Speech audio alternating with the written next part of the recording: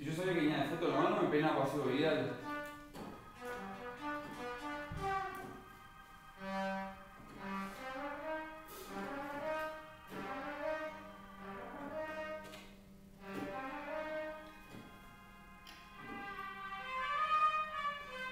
¿Me lo revelás? ¿No? ¿Está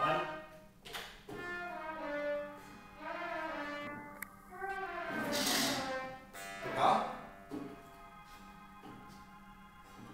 Bien. Y los chiquilines también.